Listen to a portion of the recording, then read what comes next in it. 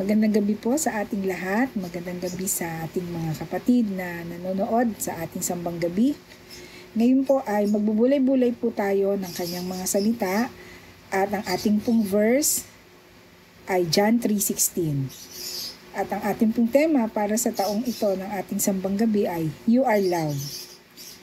So alam po natin lahat or marami sa atin ang nakakaalam, nakaka-memorize ng John 3.16 alam niyo po ba, may isang American football player way back 2009 na si Tim Tebow na nung kanilang championship game ay naglagay po siya ng kulay black na pintura dito sa kanyang ilalim ng mata at John 3.16 ang kanyang nilagay doon.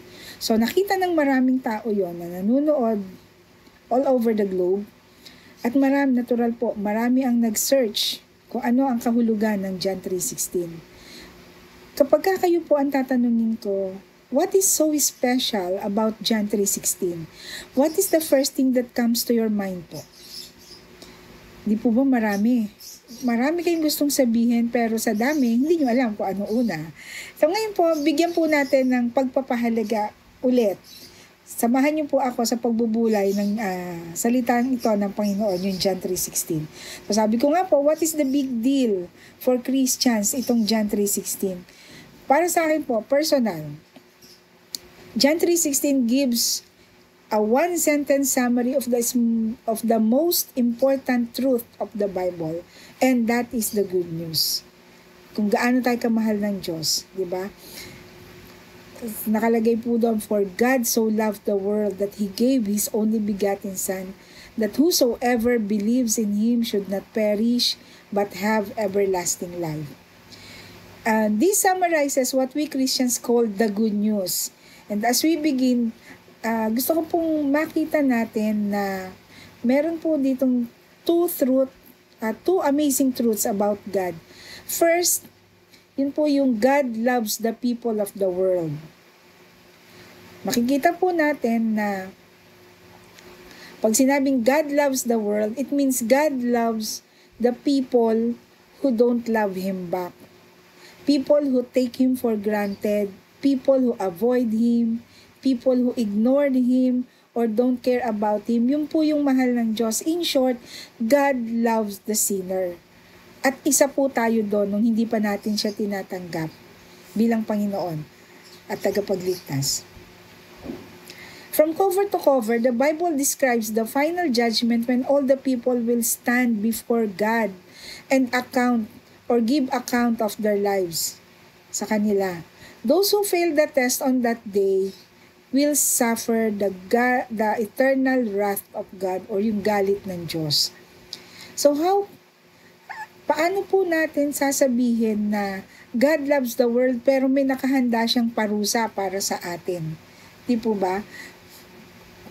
The Bible teaches constantly, consistently that God loves, uh, God, God feels anger towards people who disobeyed Him and take Him for granted.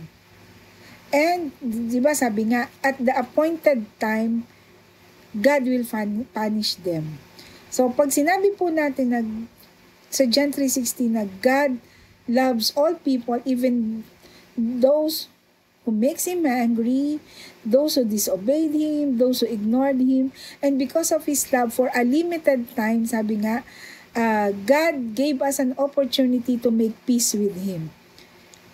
So the first amazing truth is God loves us. No matter how we sinned against him, God loves us. And then second is, God expressed His love to the world by giving His one and only Son. Diba? Yung kanyang begotten Son. God didn't love us in words alone. The most important demonstration of God's love for us as sinners is by giving Jesus as a sacrifice for all of us. This is what God did when He gave Jesus. When Jesus died on the cross, God did the unthinkable. And this is the greatest evidence of His love for us as sinners. The greatest evidence of His love for you and for me. Ito po yon. Wala na pong hihigit pa. God loves us not just in words, but indeed. Nakita po natin yon nung namatay si Kristo sa krus ng Kalbaryo. Just at the right time, when we were yet sinners, God died for us. Di ba? When we were yet sinners, Christ died for us according to Romans 5, 6, and 8. That's what God did for you and me. He is the perfect judge. Tandaan po natin yon. God does not acquit the guilty. He does not overlook our sin. That is why John 3.16 talks about the possibility of perishing. Di ba? Uh, sabi doon, the perishing is not just um, in a sense of dying physically, but perishing forever, being condemned by God na mamatay ka dun forever, uh, mamatay ka, ano yan, namatay si Kristo para sa atin, para hindi tayo dumanas nung um, pagparusa niya dun sa ano, sa hell, 'di ba? Eternal sorrow called hell. So that the sinful people will not have to perish. God sent His only Son, Jesus, who lived a perfect life pero namatay as a sinner nailed to the cross, died, died as a sinner. So sabi nga, uh, Jesus took the fall. Diba? Um, the Bible teaches us that no one, no one is good enough na bayaran yung kasalanan niya at mamatay dun sa krus para sa lahat. Only Jesus did that because He is the perfect sacrifice. Siya po yung ano, Jesus is God's unique specially loved son. Pero 'di ba, no, lahat po tayo dito, lahat po ng parents makaka-relate sa akin na pag sinabing uh, willing po ba kayo na maparusahan yung anak nyo ng walang kasalanan dahil dun sa mga makasalanan? Siyempre hindi. As as people. 'Di ba? Pero ganun po ang ginawa ng Lord sa atin, ng Panginoon sa atin. God sent His Son for us na mamatay doon para po tayo matubos. Yung kanyang beloved son with whom he is well pleased, di ba? Yun ang sabi niya nung binautismohan siya.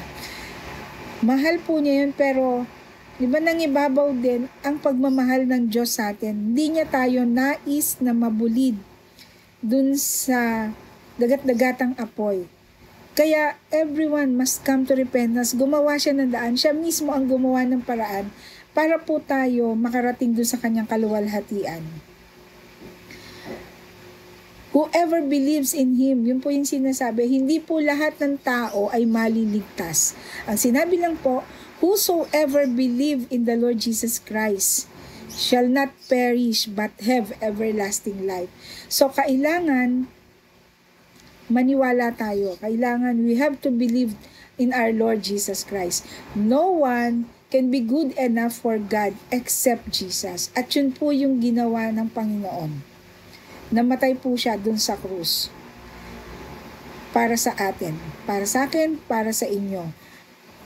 Ba? So ngayon, ano po yung kailangan natin gawin? We have to accept Jesus and His sacrifice. Ba?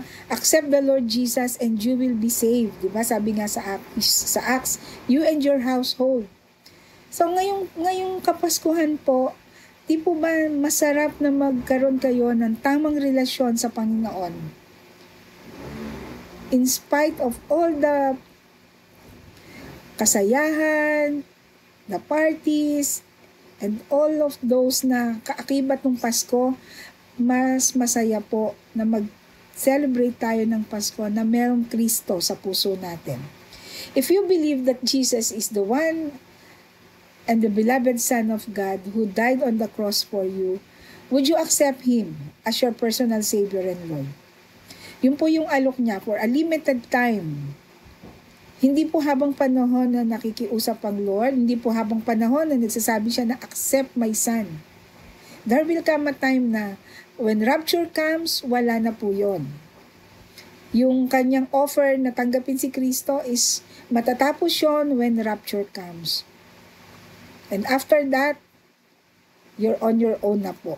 Di ba? Yun nga po yung sinasabi.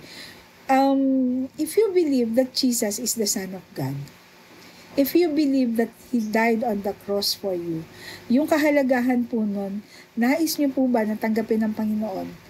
This is the right time for you, brothers and sisters. You want to live out John 3.16? It's simple decision to make commitment to follow Christ.